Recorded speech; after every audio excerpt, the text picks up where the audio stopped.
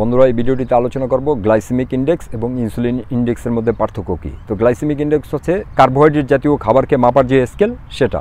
কি মাপবেন? মাপবেন যে ওই খাবারটা খাওয়ার পরে কত দ্রুত ওই খাবারটা ব্লাড সুগারে ব্লাডের সুগারে রূপান্তরিত হয়েছে।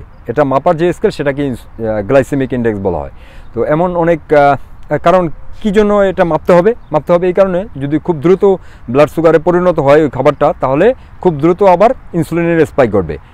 কারণ হচ্ছে ওই ব্লাড সুগারটাকে আবার নিচে নামানোর জন্য।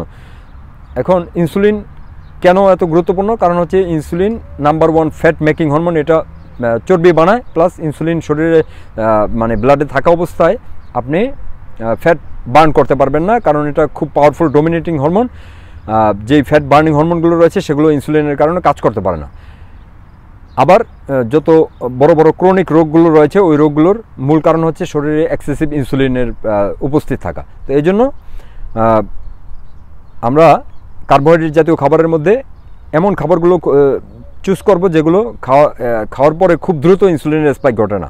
যেমন ভাত, রুটি, তারপরে চিনি, আলু, এগুলো খেলে খুব দ্রুত ইনসুলিনের স্পাইক ঘটে। আবার শাকসবজি খেলে খুব স্লো স্লো গতিতে ইনসুলিন স্পাইক ঘটে এটার কারণ হচ্ছে অলরেডি শাকসবজির মধ্যে আপনার সুগারের পরিমাণ কম প্লাস শাকসবজির মধ্যে প্রচুর ফাইবার রয়েছে। আর ফাইবার সুগারের স্পাইককে স্লো ডাউন করে।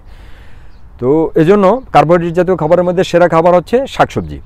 এবার ইনসুলিন ইন্ডেক্স ইনসুলিন ইন্ডেক্স হচ্ছে নন কার্বোহাইড্রেট জাতীয় খাবার যেগুলো যেমন ফ্যাট এবং প্রোটিন এই দুই জাতের খাবারের মধ্যে কি খাবারগুলো খেলে কত দ্রুত ইনসুলিনের স্পাইক ঘটে বা সুগারের রূপান্তরিত হয়, সেটা মাপার স্কেলকে ইনসুলিন ইন্ডেক্স বলা হয়। যেমন এই দুই জাতীয় খাবার- খাবারের মধ্যে প্রোটিন জাতীয় খাবার সবচেয়ে বেশি ইনসুলিনের স্পাইক ঘটায় বা সুগারের রূপান্তরিত হয় খুব দ্রুত। তো এই প্রোটিনের মধ্যে আবার মানে প্রোটিনকে যদি আপনি আলাদা করেন মানে প্রোটিন এবং ফ্যাট প্রকৃতিতে আপনি দেখবেন যে আল্লাহ তালা প্রোটিন এবং ফ্যাটকে মোস্টলি আপনার একত্রিত করে বানিয়েছেন। যেমন ডিম, ডিমের হলুদ অংশ ফ্যাট আর সাদা অংশ প্রোটিন এখন আপনি যদি যেভাবে আল্লাহ বানাইছেন, ওইভাবে যদি খান, তাহলে আপনার কোনো টেনশন নাই। কারণ ফ্যাট প্রোটিন জাতীয় খাবার যে ইনসুলিনের স্পাইক ঘটায় ফ্যাটটা আবার ওই ওই স্পাইকটাকে স্লো ডাউন করে। ওকে তো এই জন্য